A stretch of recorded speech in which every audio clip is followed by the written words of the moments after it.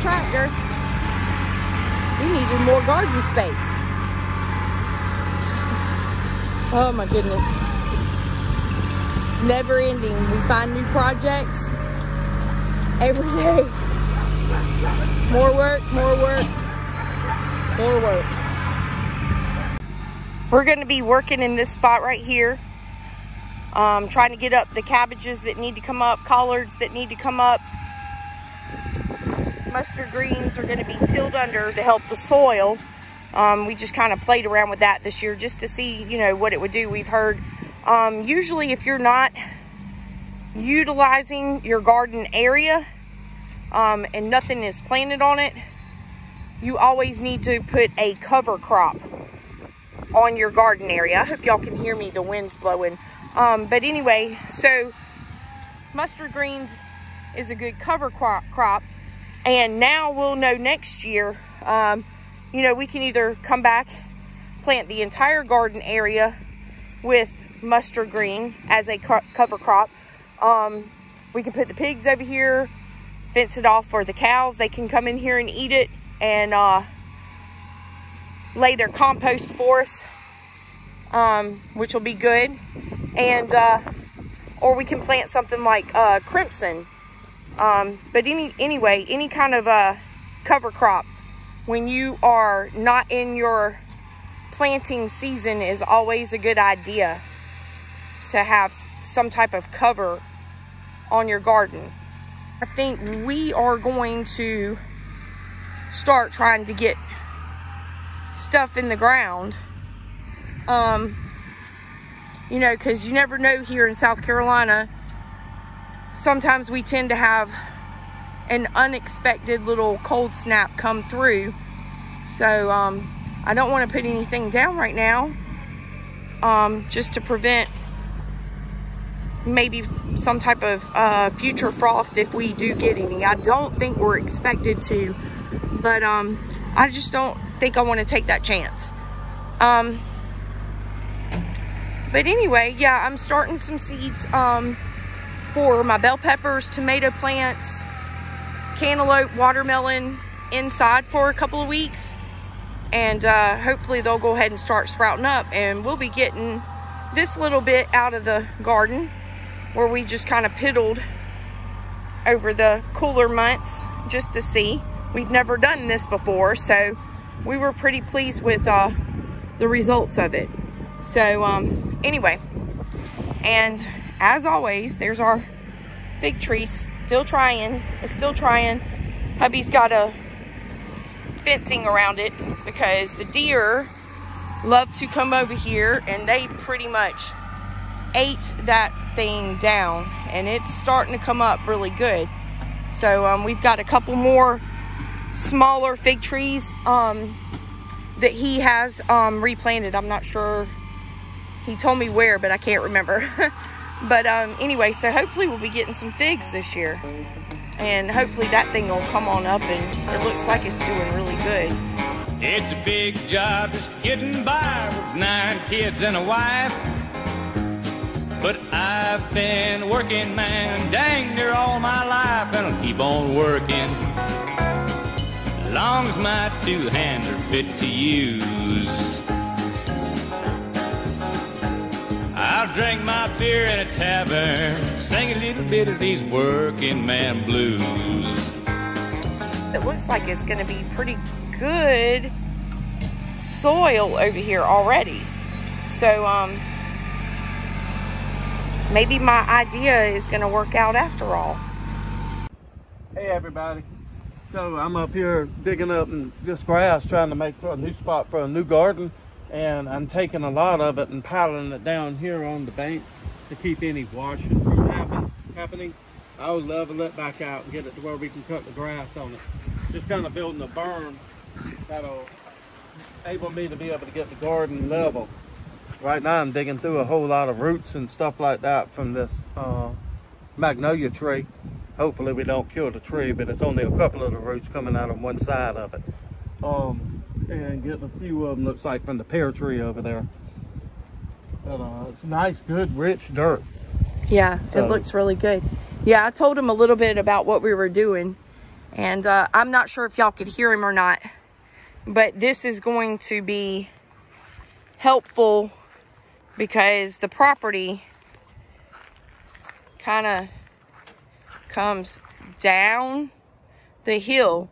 And uh, like I was telling y'all, when we had that flood come through here a couple years ago, man, I tell you what, it looked like somebody drained about a thousand pools Yeah.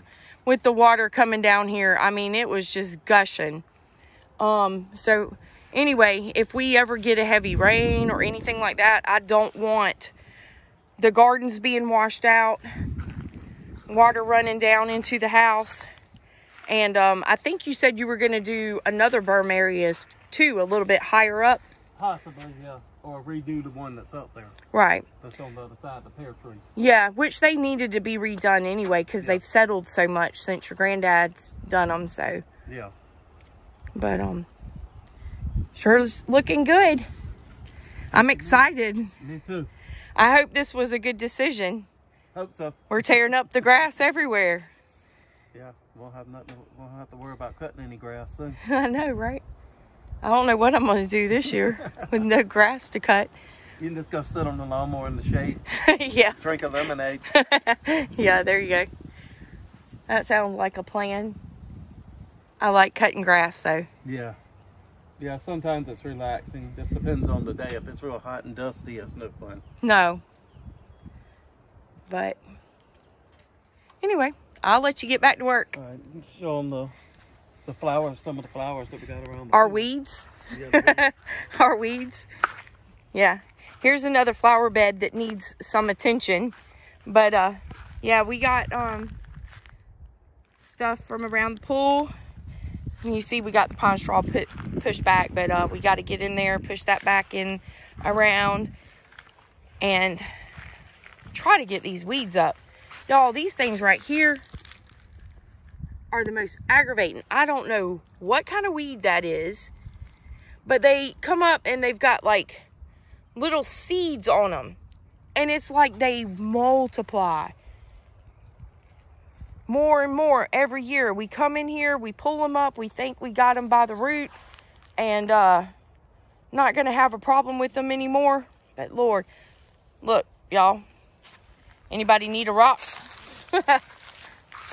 There's the rocks from the, around the pool. And uh, this right here, me and hubby call it a snowball bush. I don't know if that's the right name for it or not. But um, we uh, gave this one a new home. We pulled that one up from in our new pasture area. And uh, I guess we're just going to try to work on this area right in here um, for a flower bed. We also got some garlic planted in here. So we got a lot of, it's coming up really good. Got a lot of garlic planted in here. And um, so, yeah, hubby said he's thirsty. Nothing like uh, going back to childhood. And that's the best kind of water right there, straight out of the water hose. I think it tasted better when we was younger. Though. Probably so. Yep. But uh, anyway, so we're getting it. Um, like I said, I, I I think we'd much rather have the garden than the grass. yeah. and that's a good sunny area right there too and like i was telling telling him a lot of times in the summer it's so hot here and with it being so sunny in that area by the time about midsummer when it gets 100 plus here it's like the grass looks so dead right here so that'll help it too to not make it look so bad Hubby stopped the other day on his way home from work, got me some more pot and soil. I got some on the back porch already open. Got us another blackberry bush. Um, persimmon tree. We're kind of waiting to see if that thing is actually alive. Hopefully it'll start getting some leaves and sprouts on it. Um, got some big beef tomatoes. We bought those in Wagner. at Wagner Milling Company. Look at those things, y'all. The stalks on them are already. But I, I actually just now put those in a bigger container. But I just wanted to show y'all, like, the stalks on these tomato plants. And they came in um, a little four pack. So I went ahead and put them in a one of our little two liter bottles we utilize. Got some Crimson Sweet watermelon.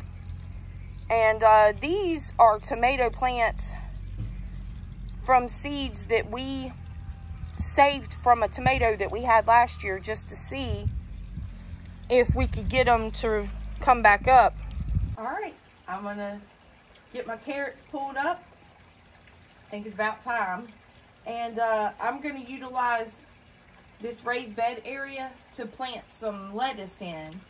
And uh, I think I'm gonna do iceberg lettuce. So whenever we're ready for a salad this summer, I can just come outside, back porch, and grab me a head of lettuce.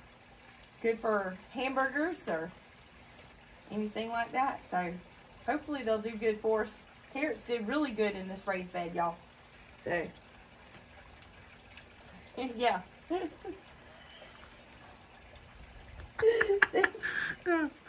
they did really good. We got a baby carrot.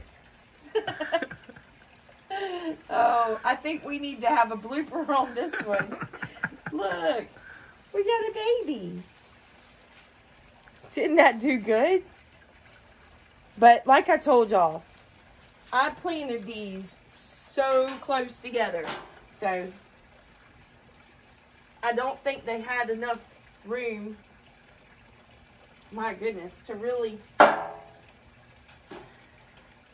I think the ones That- on this end that better. end did better, yeah. So there's one. Let's try. Because I pulled some up down here. That's why. It's, see, that's better. I think they all did better. It gets more sun down here. And see, like, y'all can see that big old clump was all planted together. I got one good one out of it, a little tiny one. So I, I knew whenever I planted them, the seeds were going to be extremely close together. But um, this, like I said, first time I've planted carrots. Never done this before. So this was a definite trial and error. And the next time I plant them, I'll know to try to uh, get them spaced out more or either plant them and once they start coming up, go ahead and separating them and uh, spreading them out more because y'all see what this is doing. So, but the bigger ones, I don't know. It, I was thinking about uh, blanching them and uh, cutting them and trying to freeze them. But um, if they don't do good, I'm just going to feed them to the pigs and the cows and the goats. They'll eat them. And the cows especially like the green off the carrots. So anyway, y'all came along with me and saw my little carrot fluke. And uh, we'll just continue on from here. Hopefully the lettuce will do better than the carrots. This is the lettuce that we are going to plant. It says on the back, this variety is an iceberg lettuce, like the supermarket has, but better because you can grow it yourself. So, we're going to grow our own lettuce for the first time. And y'all, I thought the uh the uh carrot seeds were small. Well, the carrot seeds, I think, were uh, maybe even a little bit smaller than that, if I can remember. So, anyway, on here, it says, um, plant them about a fourth of an inch deep and space them about 18 inches to 12 inches apart. So, and it says it takes 7 to 10 days for them to germinate. So, hopefully in about 10 days or so, we'll be seeing some leaves come up out of here. She got all the lettuce planted, and I'm going behind her and just kind of giving it a light coat of water. And hopefully, in a couple of days, we'll have some nice heads of lettuce starting coming up. So I think it's going to do really good. We put a little bit of um, potting soil on top of it just to give it a little bit, a little bit of fertilizer, just a little bit in there, just to give it a little boost because I'm sure the carrots took a lot of the nutrients out while they were growing in here. So um, we just put a little bit of extra in there to have some extra stuff to survive and thrive and do good. All right, so just to let y'all know what I'm doing here, got my pumpkin seeds. I got the other ones planted. But I just push my finger in about inch deep, drop the seed in, and just cover it up. You coming to get dirty with me? Yeah. Oh my goodness. I didn't work you hard enough today? Mm -mm. He says I didn't work him hard enough today. I got plenty more things you can do.